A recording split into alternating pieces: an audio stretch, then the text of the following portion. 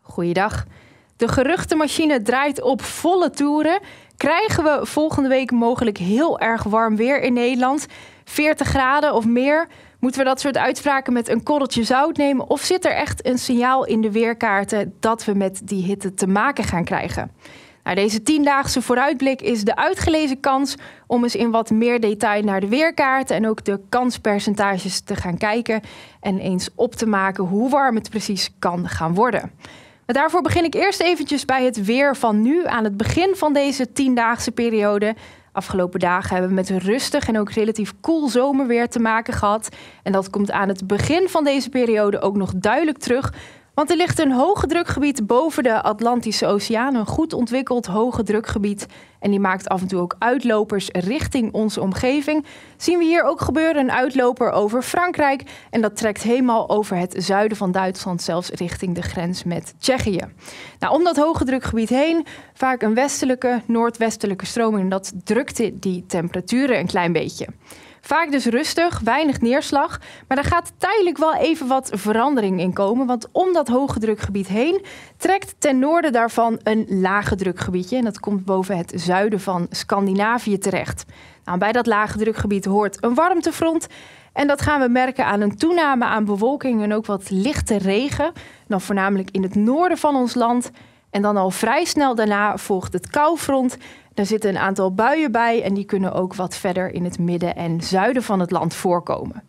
Nou, dat lage drukgebied trekt vervolgens weg. En bij ons wordt het dan alweer vrij snel droog. En als ik de animatie dan vervolgens ga starten, dan zien we hoe dat wegtrekt. En hoe dat hoge drukgebied eigenlijk vrij constant op diezelfde plek blijft liggen. Af en toe uitlopers maakt wel daar een noordelijke noordwestelijke windrichting bij in stand houdt. En gebieden met regen en bewolking gaan allemaal ten noorden van ons voorbij. Voorlopig dus volop rustig zomerweer aan de luchtdrukverdeling te zien. Maar dan is de vraag natuurlijk, wat doet de temperatuur daarbij? Nou, dan ga ik even een weekje vooruit. Volgende week woensdag en ook wat hoger in de atmosfeer. Dit is ook een kaart van het Amerikaanse weermodel, net als de vorige weerkaart. En dit is de windsnelheid op 10 kilometer hoogte, ook wel de straalstroom genoemd. En die zien we hier net iets ten noorden van ons liggen. Best wel goed ontwikkelde straalstroom. Maar waar ik eigenlijk vooral even naar wil kijken, is dat lage drukgebiedje die hier net in de hoek van de kaart voorkomt. In het zuiden van Europa gaat zich namelijk weer behoorlijk wat hitte opbouwen. Echt een bel met warme lucht. En op het moment dat dat lage drukgebiedje door die straalstroom wordt opgepikt, dan kan die koers gaan zetten richting het noorden. Nou, en dat lage drukgebied, dat kan mogelijk de veroorzaker zijn voor het warmte opstuwen richting Nederland. De warmtefront bij dat lage drukgebiedje, dat is eigenlijk een beetje de begrenzing van die warme lucht die zich eerst nog lange tijd in het zuiden van Europa bevindt. Maar als dat lage drukgebied dan wordt opgepikt door die straalstroom, dan kan die warmte met een zuidwestenwind koers gaan zetten richting ons land. Nou, en hoe ziet die warmte in het zuiden van Europa eruit? Dan gaan we eventjes weer naar het actuele moment. Dit is aankomende donderdagmiddag. En dan zien we hier dat op 850 hectopascal. Dat is niet aan de grond, maar ongeveer op anderhalve kilometer hoogte. Vaak moet je daar 10, 15 graden bij optellen om de temperatuur aan de grond een beetje in te schatten.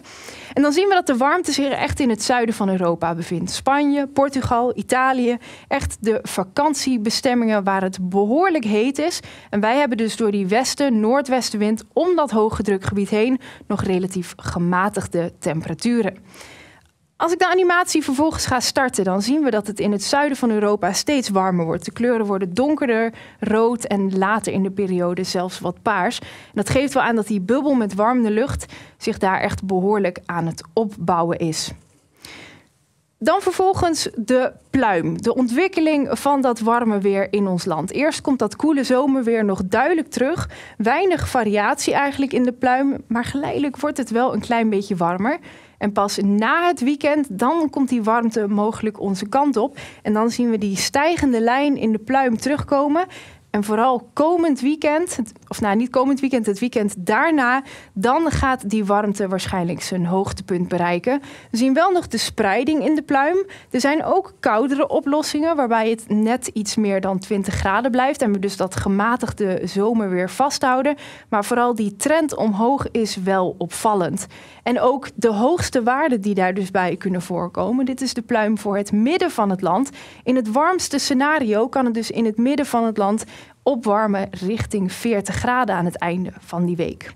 Nou, dit is dus voor het midden van het land. In het zuiden en zuidoosten is het vaak zelfs nog een stuk warmer. En dan zien we ook duidelijk terugkomen hoe na het weekend de kans op temperaturen van meer dan 25 graden, zomerse warmte, dat komt eigenlijk vanaf maandag al heel duidelijk terug in de pluim.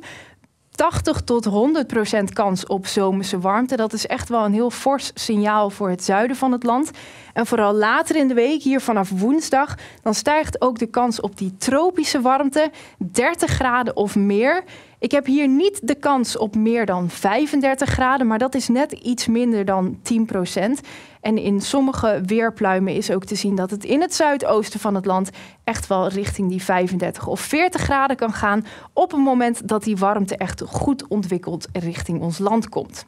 Nou, de samenvatting voor deze tiendaagse periode is dus dat het eerst nog rustig en relatief koel zomerweer is, maar dat er dus wel een kans bestaat dat het in de loop van volgende week behoorlijk warm kan gaan worden.